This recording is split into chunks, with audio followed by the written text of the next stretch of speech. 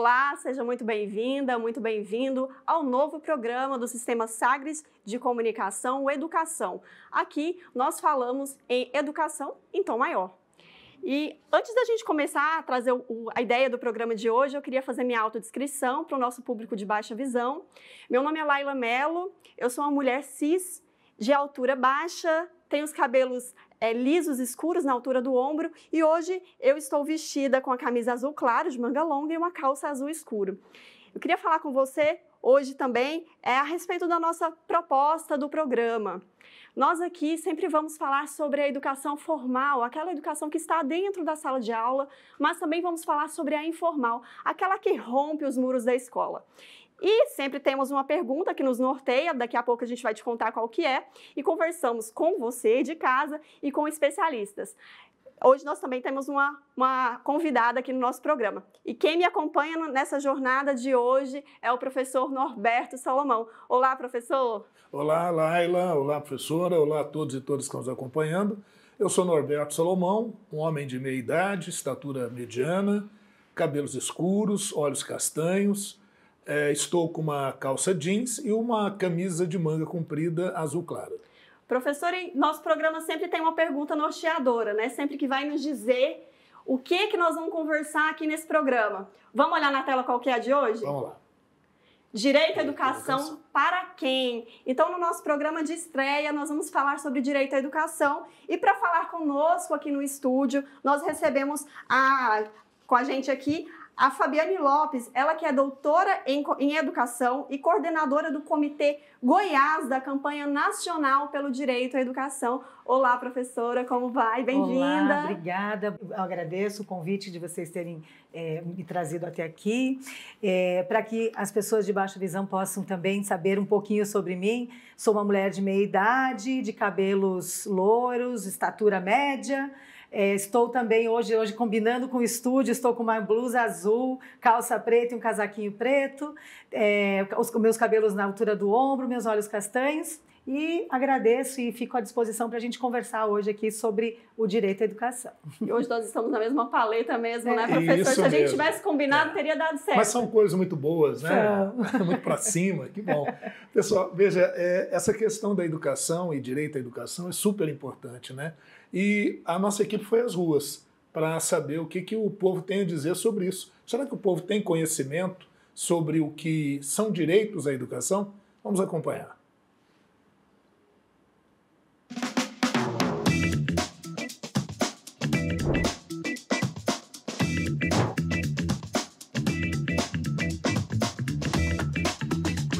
O senhor acredita que no Brasil Existe o direito à educação? As pessoas têm acesso à educação? Olha, eu acredito que sim, né? Agora é mais na teoria, porque na prática é complicado. A sociedade hoje é uma sociedade difícil de lidar hoje, né? Então, assim, mas se for no âmbito de você procurar sua educação sobre os seus direitos, eu acho muito difícil, né? Olha, existir o direito existe, mas existe uma limitação principalmente econômica em relação a, ao direito à educação. Por exemplo, você não pode afirmar que uma pessoa que quer medicina, ela tem acesso a cursinho de qualidade, ensino de qualidade, tem as mesmas chances de entrar na universidade pública do que uma pessoa que não tem poder financeiro para ter esse tipo de coisa. Acredito que existe, só que, né, pela maioria da população ter baixa renda, então a maioria não tem um, um não exerce esse direito uma, de uma forma justa e também de uma forma decente, né, que dê todo apoio, enfim. As pessoas no Brasil têm direito à educação? Qual é a sua opinião? Direito tem, né? Não está tendo muito acesso à educação por verbas né, que não estão sendo repassadas, né? Mas direito tem, sim. Porque principalmente assim, creche. O CMEI de hoje está muito fraco. Não está tendo porta aberta para as crianças que precisam. Há muitos pais que precisam trabalhar e não está tendo vaga para os seus filhos. Você acredita que no Brasil esse direito existe de fato? Eu acho que o direito à educação ele ainda não é assegurado, já que a gente entende que tem várias crianças, principalmente aqui em Goiânia, que ainda né, lutam muito para poder acessar tanto o CMEI quanto a educação aí a partir do primeiro ano. E eu acho que principalmente no ensino superior, né, que a gente entende que tem a burocracia dentro do SISU e também a questão do acesso, né, porque você não tem já o direito à educação assegurada, então quando você vai para o ensino superior, você já não tem menos ainda, porque é, a pessoa não entende como que funciona o vestibular, não consegue ter essa conversa, né, esse diálogo com os professores. A educação seria, além desse acesso ao ingresso das instituições de ensino, também tudo aquilo que permeia a permanência desses estudantes, tanto direito à alimentação, ao lazer.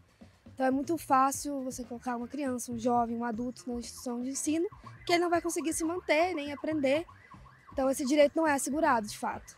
Se eu não me engano, o direito ele é tá na Constituição, né, de 1988, que é o direito à vida, quer dizer, o direito à saúde, à educação, à moradia. Então é um direito constitucional, mas infelizmente nem todos têm esse direito, né? dependendo da região, de onde vem, o acesso, as condições, porque famílias mais vulneráveis acabam não, não levando os filhos para a escola para poder trabalhar, para poder ter renda para a família. Então, quem é a gente para julgar? A questão é ter políticas públicas que façam esse direito ser ampliado para todos. Então, eu acho sim que, como o próprio nome fala, é um direito, é um dever do Estado. Mas, infelizmente, nem todas as crianças têm acesso a isso. Nem todos têm, né? Muita gente tenta e não consegue. Hoje em dia está tudo mudado, está diferente, não consegue, não tem vaga, não vai longe, não tem condições de ir nem nada, então fica difícil. Todos têm acesso à educação ou não? O que, que o senhor acha? Aqueles que querem aprender têm acesso. Agora tem uns que têm acesso, mas não querem aprender. Não grava nada, não pega nada para si, entendeu? Então, E aí fomos às ruas para ouvir a população do que é o direito à educação. Professora Fabiane, o que é o direito à educação e quem de fato tem acesso a esse direito no Brasil hoje? Sabe que eu estava ouvindo o pessoal falando ali nas ruas e todos têm muita razão no que eles falam. Direito é, está estabelecido, já está, é constitucionalmente estabelecido. A questão não é o direito, a questão é realmente o acesso à permanência. Porque precisam haver políticas públicas que possam garantir que os estudantes que têm idade, é, que, são, que é correspondida à educação básica, possam ter o, o, acesso garantido. Mas uma das pessoas ali falou algo, desculpa, que eu considero, assim, é, primordial não adianta ter o acesso se você não garante a permanência, se você não garante a assistência. E a gente está falando de uma educação que não abrange só crianças e jovens, e sim também adultos que estão num processo de formação profissional, uhum. de futuro, né? Então, são muitos os desafios. Direitos existem? Existem, só que nem sempre assegurados, né? Então, nós sabemos que, infelizmente, as políticas elas precisam estar muito presentes e é, não só uma política sendo feita, é, votada e aprovada, mas ela tem que ser implementada também. Professor Norberto, a professora Fabiane acabou de falar sobre legislação. Vamos ouvir como é que foi esse aspecto da legislação brasileira em relação a, a esse direito à educação? Nós conversamos aqui com o professor Salomão Ximenes, que ele é integrante do grupo de trabalho de políticas educativas e direito à educação do Conselho Latino-Americano de Ciências Sociais. Vamos ouvir. São 35 anos de vigência da Constituição Federal de 88, e essa Constituição ela tem um capítulo importante é, sobre o direito à educação, do artigo 205 ao artigo 214 da Constituição.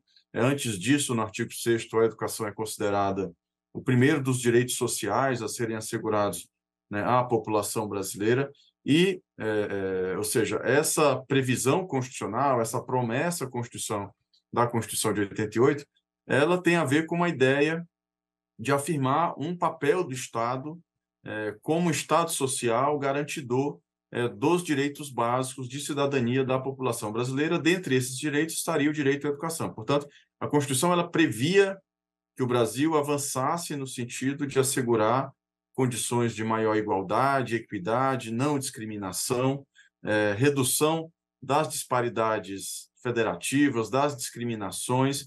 Né? É, esse é o projeto da Constituição é, Federal de 1988 e ele se reflete também, este projeto, no capítulo da educação. Né? Então, a gente poderia fazer olhando retrospectivamente, né, um breve balanço do que aconteceu nesses 35 anos. Né? Inegavelmente, é, o país, né, o Brasil, hoje, passados 35 anos, é, e sobretudo em função do processo de redemocratização e depois né, esse, esse exercício democrático que nós vivemos no país é, nas últimas décadas, né, levou a que o direito à educação ele fosse cada vez mais conquistado pela população. Né? Então, no, num balanço geral, hoje se assegura mais acesso à creche, acesso à escola. As escolas hoje no Brasil, comparadas ao que eram na década de 70 e 80, elas têm melhores condições de infraestrutura, de qualidade, atendem a mais crianças, jovens e adultos. O magistério, né, ou seja, há uma lei importante aprovada nesse período, a gente pode comentar um pouco depois, que é a Lei do Piso Nacional Salarial dos Profissionais do Magistério da Educação Básica, também prevista a partir da Constituição, numa lei específica. É, os professores hoje têm um salário é, melhor do que tinham, muito melhor do que tinham antes da, da previsão constitucional. Né? Nós temos planos nacionais de educação, um plano, inclusive, com vigência até o próximo ano, e estamos no momento de discutir o novo plano. Então, eu diria que, como balanço geral, é, nós avançamos e avançamos muito. Né? Ainda que seja é fundamental reconhecer que há, muito, há muitos desafios, né? há muitas desigualdades, é, há muita dificuldade de acesso, de qualidade, e tivemos também, importante dizer isso, um retrocesso né, nos últimos anos, ou seja, sobretudo a partir de 2006, é, com a emenda constitucional 95 do teto de gastos, né, a interrupção de um processo de investimento social na escola pública, na universidade pública, nós tivemos alguns retrocessos. Mas, como panorama geral de 35 anos, é, o balanço é positivo. Muito bem, é isso. Quer dizer, tem legislação ampla para isso, né, doutora Fabiana, Laila, né? Há uma legislação ampla, os direitos estão aí, mas eu queria perguntar para a senhora o seguinte: por exemplo, para o campo prático, um jovem que quer prestar um curso para o curso de medicina, ele vai encontrar barreiras que ainda não conseguem ser plenamente suplantadas uh, pelo que a legislação estabelece, mesmo a gente tendo lei de cotas ou, ou outras questões. Só acha que é, há necessidade de um engajamento maior da sociedade para que haja uma ampliação desses direitos e dessa acessibilidade? É, veja, nós temos a desigualdade, como o Salomão trouxe ali, que é inegável. O nosso país é um país continental.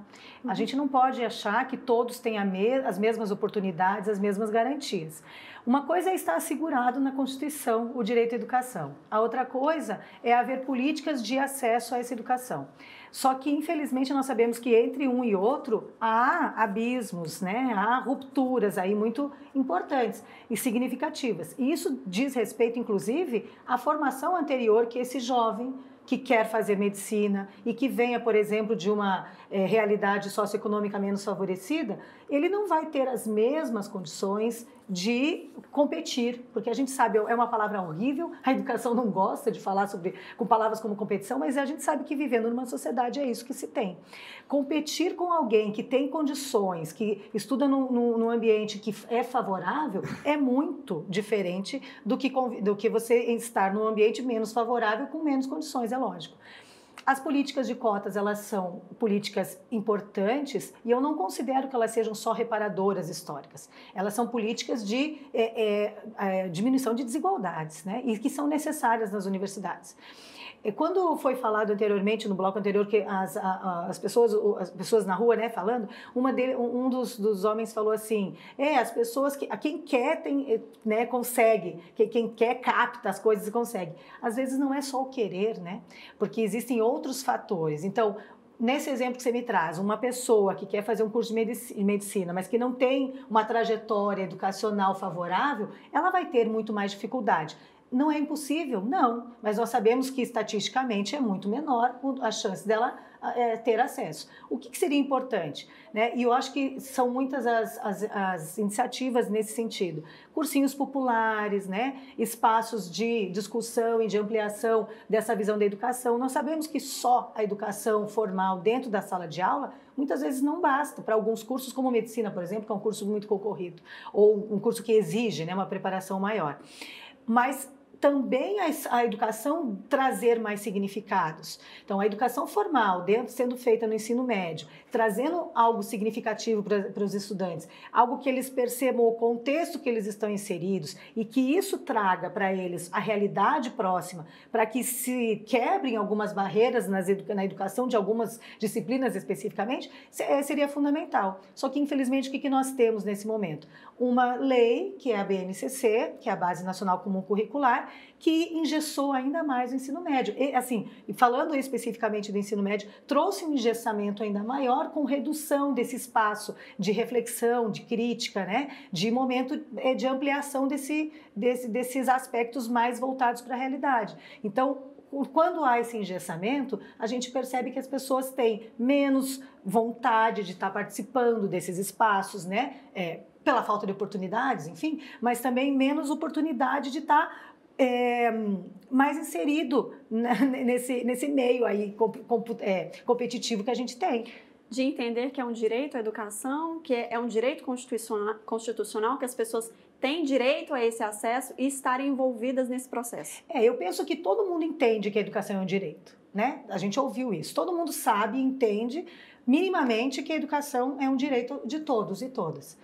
O problema está sendo na garantia desse direito, e daí isso independe da escola, porque muitas vezes acaba caindo exatamente no campo mais frágil da educação, que é a, a, assim, a ponta dela, que é a escola. Então, é a escola que é ruim, ou os professores que não sabem ensinar, ou né, alguns fatores que são relacionados ao ambiente. E às vezes não é o ambiente, porque o ambiente é influenciado por políticas que determinam o currículo, como que vai ser trabalhado determinadas questões né, é, na escola, é, o cerceamento, muitas vezes, né, nós aqui em Goiás nós estamos vivendo momentos recentes de cerceamentos de pensamentos, onde pais estavam fazendo denúncias né, é, sobre é, supostas ideologizações dos professores, professores que estavam trazendo outras questões. Né? Então, assim, esse, esse tipo de, de, de é, ações que estão, são estabelecidas acabam fragilizando o espaço da escola. Pausa rápida aqui na educação. Fica ligado aí, porque no próximo bloco nós vamos falar direito à educação relacionado aos profissionais da educação. Até mais!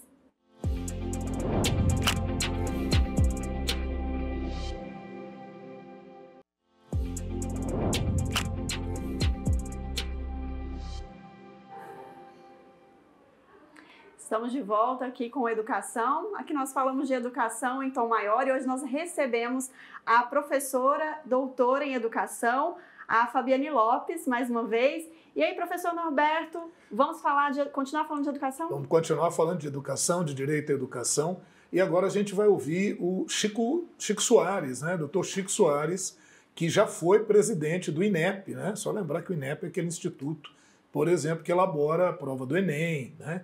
Ele foi é, presidente do INEP entre 2014 e 2016 e a gente vai ouvir um pouquinho do que, que ele tem a dizer e depois a gente repercute aí. A, a Constituição, naturalmente, ela vai especificar o direito de uma forma genérica. Então, eu me referi ao 205 e lá está dito é, a educação de todos, dever do Estado, e logo complementa para que a educação?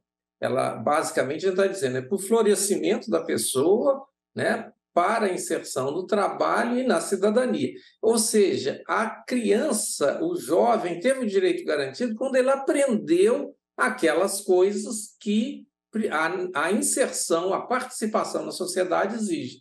É muito importante a gente sublinhar essa ideia do aprendizado. Educação é aprendizado. Né? Nós podemos dizer quais aprendizados. Hoje a gente tem uma visão alargada dos aprendizados, mas são aprendizados. Portanto, são esses aprendizados que precisam ser, eu, eu vou repetir minha palavra, concretizados. Nós temos leis, o, o país tem a lei de diretrizes e bases, que vai especificar com muita clareza como esses, a, a, o ensino, o aprendizado vai ser organizado na, nas várias etapas, nas várias modalidades. Então, nesse sentido, nós temos ah, uma, um conjunto de normas legais bastante sólido. Nós temos problemas na implementação dessas normas. Eu acho que é importante, nós estamos falando de 35 anos da Constituição, é verificar como que o direito ele foi atendido progressivamente de uma maneira mais ampla mas ele não está completo. Nós não estamos com a tarefa de garantir direito à educação completa. Mas vamos reconhecer que há 35 anos atrás, nem toda criança tinha acesso nem ao ensino fundamental. Hoje isso ocorre. Nós temos a educação infantil já com níveis de cobertura bastante altos, mas nós temos os problemas do abandono. Com 13, 14 anos, os adolescentes começam a sair da escola, mas são problemas diferentes. Quer dizer, vamos dizer que nós caminhamos, ah, nós caminhamos de uma forma que a gente deve comemorar, mas não é suficiente. Quer dizer, o, o país, durante muitos anos, ele, ele foi muito pouco cuidadoso com o direito à educação. Né? Nós passamos muitos anos, de certa forma, negando às crianças a possibilidade de uma educação, de um aprendizado de qualidade. Agora, desde a Constituição, nós temos caminhado, mas há muito que fazer ainda. É, hoje, no Brasil, a gente pode dizer que toda criança, em algum momento de sua vida, ela esteve matriculada em alguma escola. Quando ela está na escola, ela é captada pelo censo escolar. O censo escolar é um enorme esforço administrativo ele tem os seus problemas, mas muitíssimas qualidades. Então, nós podemos acompanhar as crianças e, portanto, podemos saber em que escolas elas estão matriculadas, em que ano escolar, em que modalidade. Ou seja, a permanência regular da criança é a primeira coisa que nós gostaríamos de ter. Mas isso sozinho não faz o direito. Eu tenho que ter permanência e eu tenho que ter aprendizado. Como eu disse há pouco, o primeiro dos aprendizados é a leitura, que seria o fundamental. Então, nós temos desafios nas duas dimensões. Pois é, professora Fabiane, o professor Chico Soares nos falou sobre aprendizagem relacionada ao direito à educação. Como é que a gente pode pensar nesse direito associado à aprendizagem?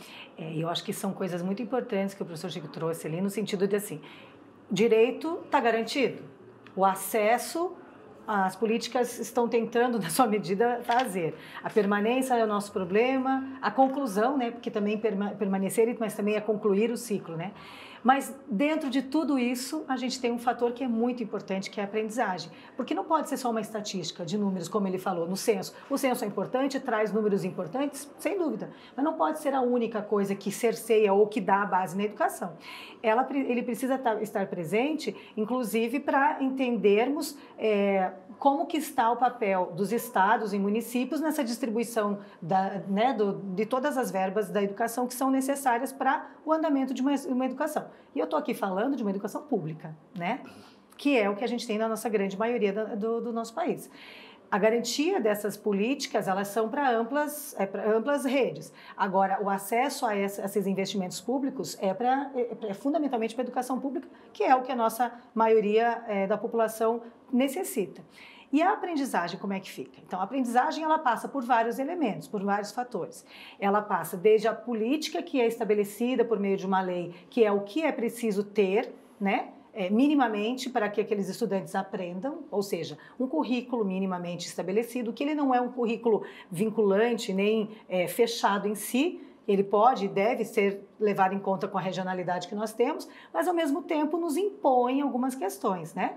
E, de novo, eu vou insistir na questão que a BNCC acaba trazendo um currículo que fecha questões, possibilidades, diferente do que nós tínhamos antes das diretrizes apresentadas.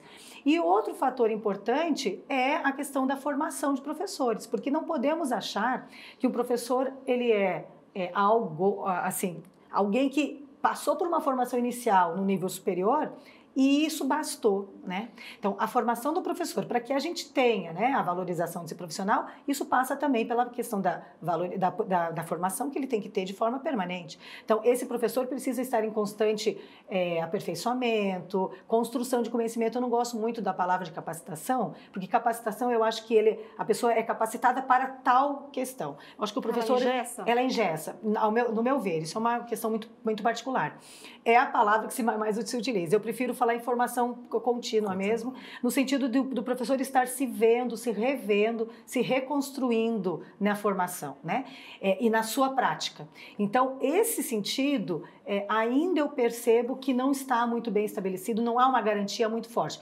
Claro, é, existem muitas ações das redes públicas, da, o próprio MEC, né, com propostas de cursos, mas nós temos um contingente de professores no Brasil muito grande, né, é na, é na esfera de milhões. Então, como realmente conseguir subsidiar para que todos eles tenham uma, uma formação continuada, né? É verdade.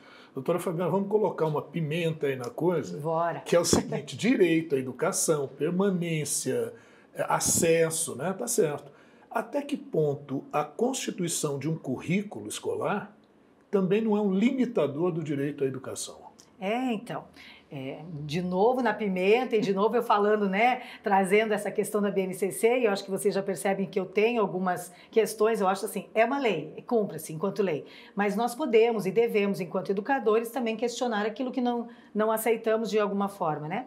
Então, há essa limitação, sabe, professor? No sentido de é, você pode é, utilizar aquilo que está estabelecido na BNCC como um parâmetro inicial e final. Né? Sim. Que eles, aí o engessamento que você trazia antes, né? O engessamento acaba sendo ali.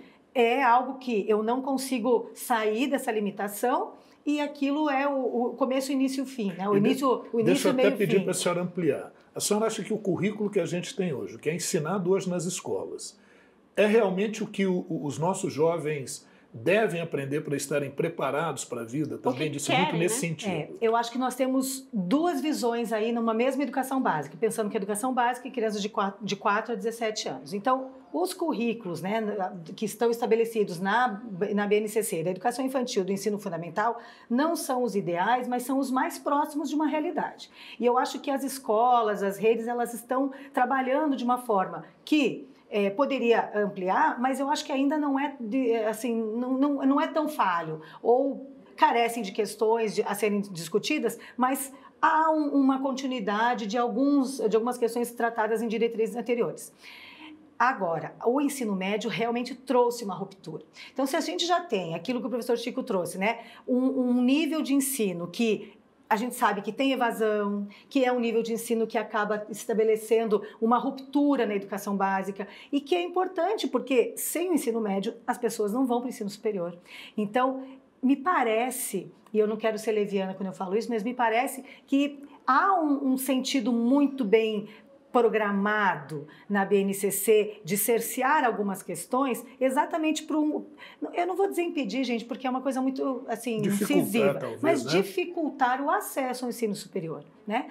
Porque quando a gente olha fria e cruamente para a BNCC do ensino médio especificamente, a gente entende que ali tem uma grande parcela da população que está sendo preparada para trabalhos que não requerem ah, questões de reflexão, de crítica intelectuais tão avançadas que, que é o mercado de trabalho mais, é, digamos, menos valorizado na, na, no Brasil, mas que é uma mão de obra que é necessária.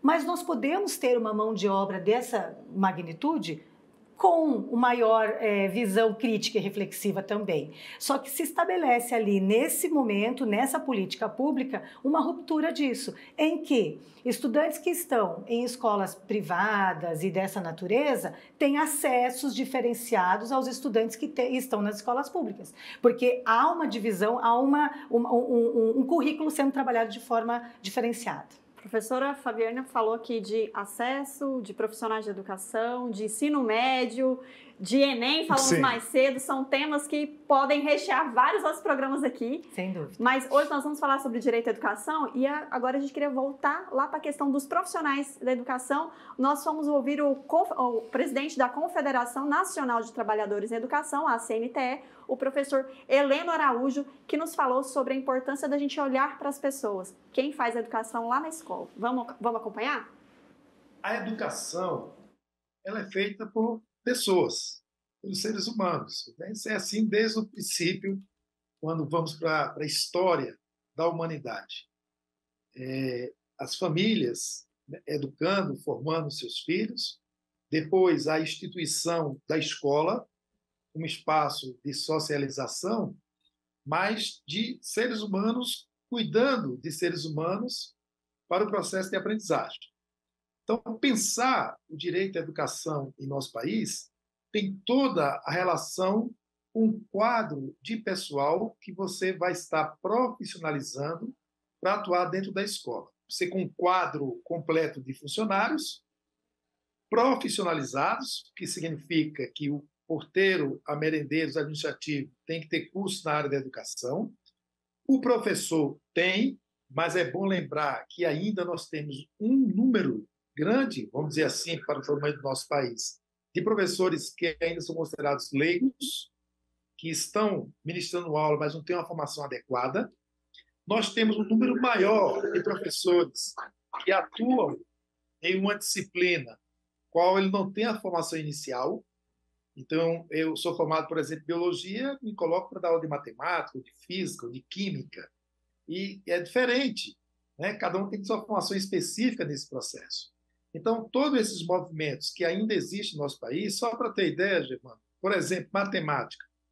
25% dos professores que lecionam matemática na escola pública não são formados em matemática. Um quarto. 26% formados é, que lecionam português, a língua portuguesa, não são formados em língua portuguesa. Veja aí o impacto que isso tem no trabalho com os nossos estudantes para motivá-los a permanecer na escola e concluir seus estudos. Por isso, é sim uma relação muito forte do quadro de funcionários que nós temos dentro da escola com a garantia do direito à educação. Esse é um dos prejuízos. Um outro que a gente escuta sempre, infelizmente, é o processo de contratações temporárias que nós temos nas redes. Nós temos queixas de estudantes que disseram assim: olha, eu estou no terceiro ano do ensino médio e eu tive quatro professores de matemática. Como é que pode? Essa relação tem que criar vínculo. Para nós, professores e professoras, nós consideramos o primeiro dia de aula o dia mais importante do ano letivo, que é a sua chegada, é o vínculo que você vai criar com a sua turma. Você se apresenta, a turma vai ser apresentada, você cria um vínculo. Imagina você mudar de professor quatro vezes no próprio ano. Então você não cria vínculo nenhum. E ao não criar vínculo, você não consegue desenvolver o processo de ensino-aprendizagem. Você não consegue acompanhar o aluno em cada etapa do seu crescimento. E isso traz dificuldades e problemas né, de, de formação aos nossos estudantes, de conhecimento, de aprendizagem para os nossos estudantes. Ouvimos, né, professora Fabiane, o professor Heleno, que representa os profissionais da educação aqui, queria trazer uma questão que ele levantou, que é a importância da gente pensar não só na formação dos professores, mas de, de como a escola funciona. Nós sabemos que a escola não está só ali na sala de aula, né? Ela tem uma equipe gestora e até uma equipe de limpeza, equipe da merenda. Qual é a importância da gente também pensar nesse direito à educação, mas relacionado à formação e também valorização desses outros profissionais da educação? É fundamental, porque nós precisamos entender que a escola ela é feita de várias pessoas e todas elas precisam ser consideradas como educadores. Então, independente do papel que eles desempenham nessa escola, eles estão num processo educativo.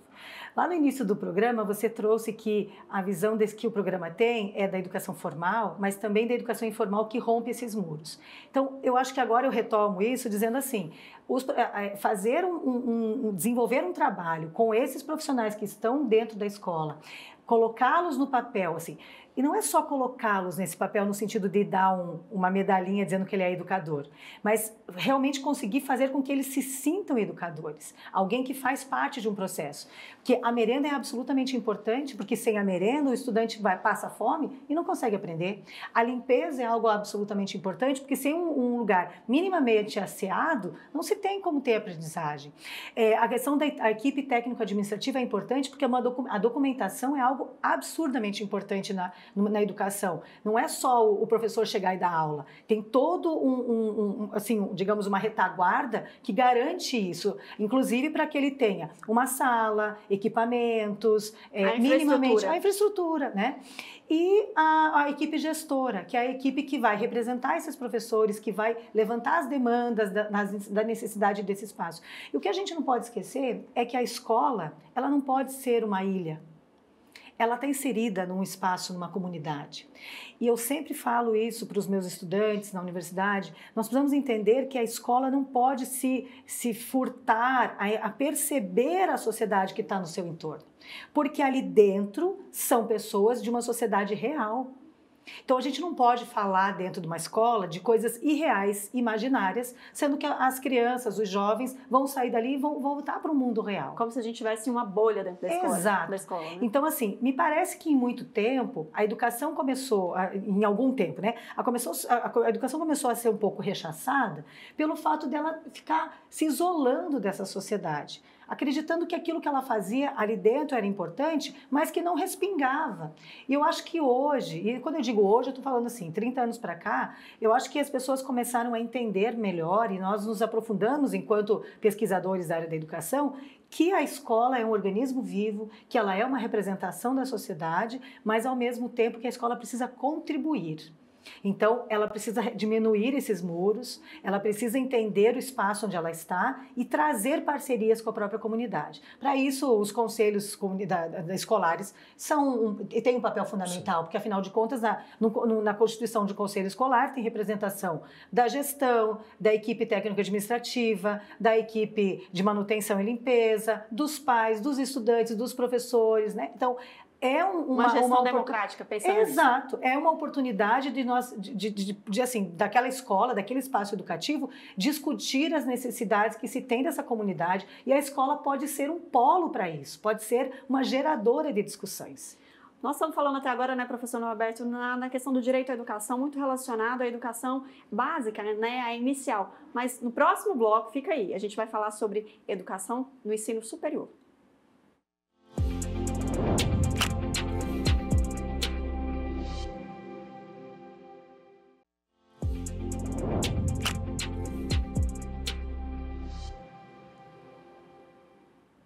De volta aqui na Educação, programa aqui do Sistema Sagres que traz educação em tom maior. E agora, nesse nosso último bloco, nós vamos falar, né, professor Norberto, sobre educação no ensino superior. É isso mesmo, Laila, professora Fabiana, todos e todas que estão nos acompanhando aí. Veja que nos últimos anos o acesso a um curso superior uh, aumentou. Os censos têm demonstrado isso, as pesquisas têm demonstrado isso. Só que apesar de tudo isso, apenas 18,1% de jovens entre 18 e 24 anos é que estão na universidade. Aí sobre isso a gente vai trazer a presidente da União Nacional dos Estudantes, a Manuela Mirella, para falar um pouquinho sobre isso com a gente. Vamos dar uma olhadinha?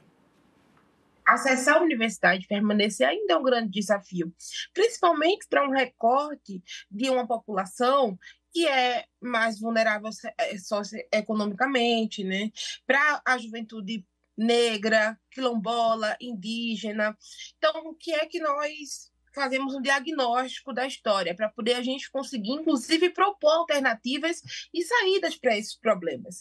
Nós tivemos na história algumas vitórias quando se tange no debate da reforma universitária a democratização do acesso ao ensino superior. Há 10, 12 anos atrás, a gente tinha uma outra realidade de universidade. Com a lei de cotas, por exemplo, a gente conseguiu democratizar o acesso ao ensino superior.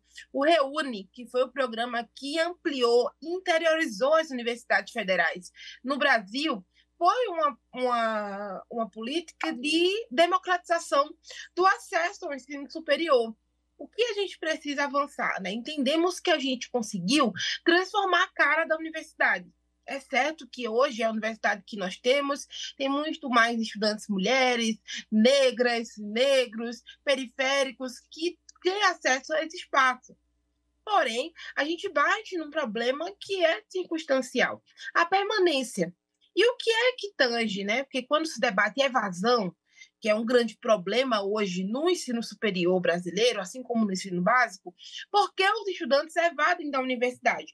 Nós estamos participando da Uni do, de um grupo de trabalho, pesquisa, junto com o MEC, para que a gente consiga apontar quais são esses desafios e as causas é, da evasão universitária. E para nós da Uni, é, está mais do que, do que explícito né, que uma das principais causas é a dificuldade de permanecer A permanência, quando se fala do debate do acesso à universidade, é a passagem de ônibus que precisa ser paga para chegar na universidade, é o prato de comida para poder se manter, porque ninguém estuda com fome, é conseguir tirar uma xerox, conseguir comprar um material didático, não ter né, que escolher entre estudar e, e trabalhar. A Unipra apresentou um estudo técnico que se chama De Lá para Cá, 10 anos da lei de cotas e lançamos uma campanha, Eu Defendo as Cotas, pela entrada e permanência na universidade. Então, a gente está na luta, defender as cotas, porque as cotas, elas abrem portas, elas abriram portas, elas permanecem abrindo portas e elas precisam continuar no futuro abrindo portas também, até que a gente consiga transformar a sociedade, diminuir as desigualdades sociais quando se fala do acesso a esses espaços de ciência, tecnologia e inovação que nos foram negados é, pois é, professora Fabiana, e lá é uma questão que até emociona a gente, Com né? Com certeza. Porque realmente existem todas essas dificuldades.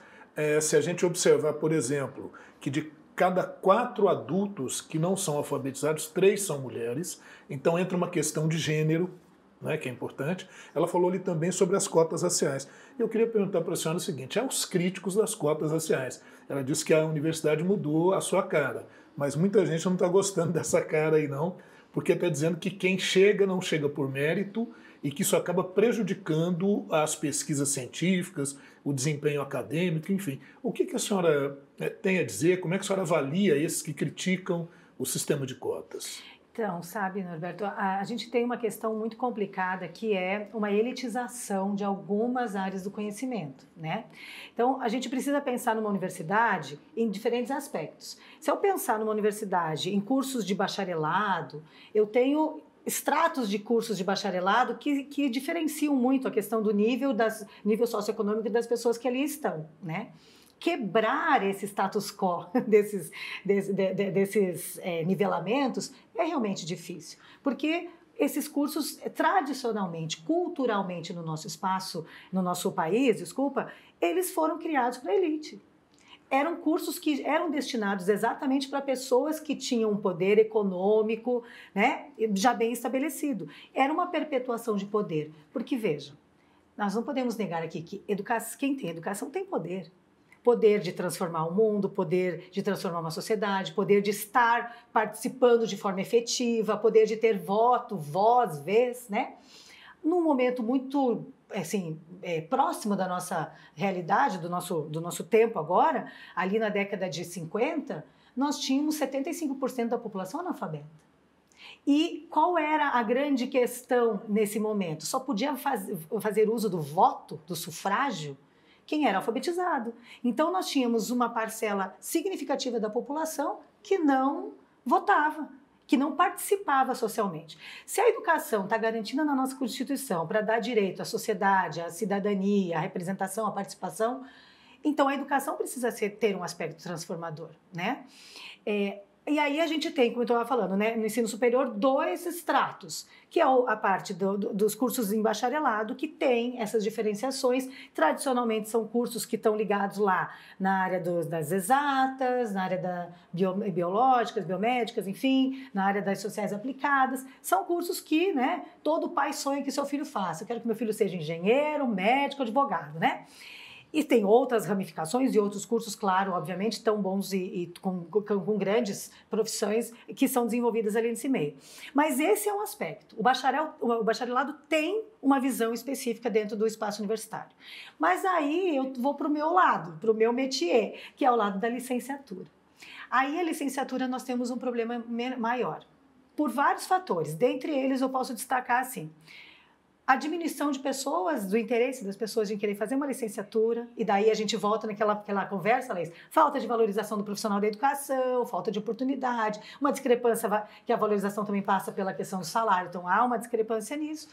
E além disso, nós temos muitos trabalhadores, é, estudantes trabalhadores, porque geralmente são pessoas que têm um nível socioeconômico, isso não é a grande maioria, é óbvio, não é 100%, mas uma porcentagem significativa que precisam ajudar na sua, na sua família, ou na sua família de origem, pai, mãe, enfim, ou na sua família de constituição, ou sozinho mesmo, porque muitos optam por isso.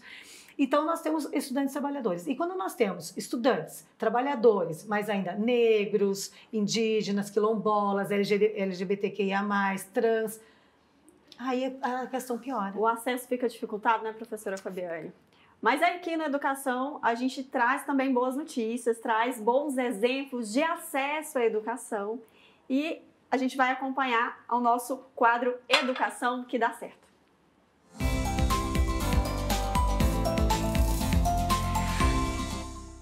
A Constituição de 1988 veio para assegurar o direito à educação, só que existem brasileiros e brasileiras que não tiveram esse acesso na idade certa. Hoje eu vou te convidar a acompanhar a história do seu Salvador e da dona Giselda, que falaram, tiveram uma trajetória de não acesso nesse, nesse momento certo da educação, mas acessaram depois. Vamos acompanhar?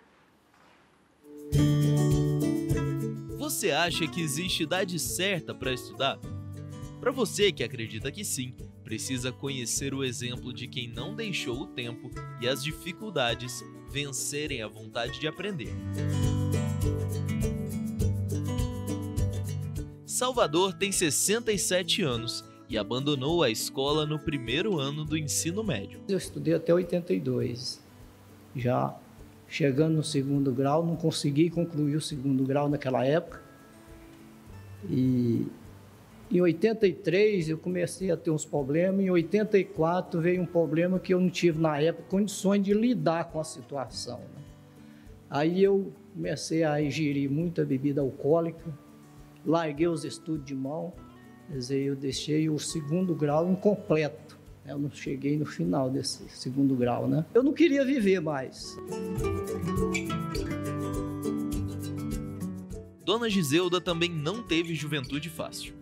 Ela veio do Maranhão com a família aos 9 anos e parou de estudar para trabalhar. Eu vim do Maranhão em 79, aí voltei, estudei, aí parei, né? E fiquei algum tempo parada. Em 1984 eu resolvi voltar a estudar, estudei no SESI todo, fiz o, né, o, como é que fala? Fundamental todinho lá e parei em, em 91 parei porque, como eu trabalhava, eu era cobradora, então eu trabalhava. Eu, tra eu levantava 4 horas da manhã e dormia meia-noite, então eu não estava dando conta. Aí eu parei. Nisso eu tive filhos, eu morava em Anápolis, vim para Goiânia e formei minha filha trabalhando, mas sempre tinha vontade de voltar a estudar. O estudo transforma vidas. E os alunos do Centro de Educação para Jovens e Adultos são exemplos de vitória e superação seu Salvador e Dona Giselda driblaram os obstáculos da vida para realizarem o sonho de ter o diploma em mãos. E os dois encontraram no Seja uma oportunidade e não a desperdiçaram. Em 2020, eu, devido a ter descobrido o câncer, né, eu como se diz, com tratamento eu me senti, parei de trabalhar, parei só com tratamento, então eu estava muito angustiada, muito deprimida. Eu ficava assim, porque você levanta, volta e não tem nada para fazer. Aí eu falei para meus filhos, eu vou voltar a estudar. Então eles me deram maior apoio. Nossa, na hora que eu falei, volta mesmo. A retomada de hábitos antigos nem sempre é fácil, mas a dedicação e motivação dos alunos que voltam à escola inspira a todos. Eles chegam aqui pensando assim, eu não vou dar conta. Eles já chegam com essa, né, com essa ideia formada. Eu venho, mas eu acho que eu não vou dar conta, né? Não vou terminar. E o que a gente resgata neles é isso, olha, a, ou seja, ou a EJA, a Educação de Jovens e Adultos, ela está aqui não para ensinar tudo aquilo que você deixou de aprender mas para resgatar essa autoestima de dizer você pode, você consegue.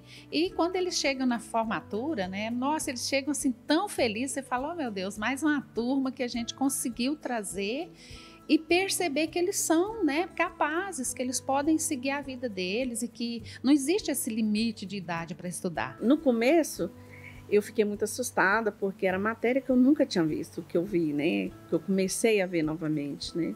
Então, mas foi assim, então os professores eles te ajudam de uma maneira tão assim que você vai superando e aquilo ali você vai cada dia mais você quer mais um pouco e, e você vai superando as dificuldades.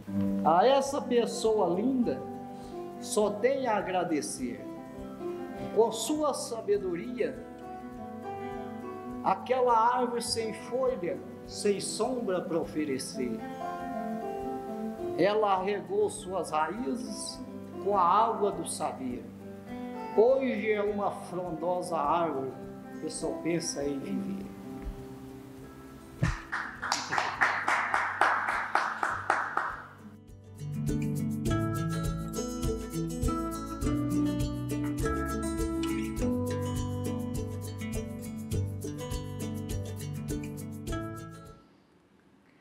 E aí, seu coração ficou quentinho em casa? Porque aqui o nosso coração tá bem quentinho. Se você de casa tem algum exemplo, conhece alguma instituição, pessoas que priorizem a educação, que dá certo, mande aqui pra gente no nosso Instagram, arroba Sistema Sagres, né, professor Norberto? É isso mesmo. Professora Fabiana, a vida do brasileiro comum, do brasileiro e da brasileira comum é difícil, né? A senhora viu ali aquela senhora, quer dizer, filhos, depois teve um câncer, enfim, é complicado demais, né? Se nós olharmos a história dos nossos estudantes, histórias de vida dos nossos estudantes, eles não precisam ter uma idade muito avançada, muitos deles novos também, já com histórias de vidas bem conturbadas, mas eles acreditam, é isso que é importante, né? Pois é, agora a gente está vendo essa questão da idade, né? Acho que não tem idade para aprender, né? nem para ir para a escola, né? toda hora é hora, todo tempo é tempo. Mas o que acontece é que muitas vezes a pessoa com uma idade um pouco mais avançada, digamos assim, pode ser discriminada por aqueles que são mais jovens. Né? Nós tivemos recentemente no interior de São Paulo, em Bauru, numa faculdade, é, três alunas que não só é, fizeram é, deboche, né? a colega mais velha, nem era tão mais velha assim, mas um pouco mais velha, e ainda postaram nas redes sociais e tudo. É, a senhora acredita que lidar com o etarismo, o ageísmo, né, que é essa questão de discriminar uhum.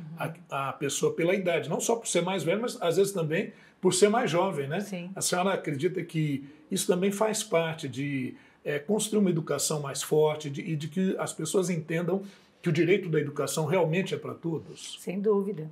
Nós precisamos combater isso, né? Eu acho que toda forma de discriminação, independente do que ela pode estar gerando ou da onde que ela veio, da sua natureza, ela precisa ser combatida. E se nós não fizermos isso num espaço educativo, que é um espaço de transformação, um espaço de formação, de construção, não vai ser no dia a dia, na, na, no ônibus, né? É, pode ser, nós podemos, por exemplo, ser sementinhas que sejam levadas para isso, mas é na educação.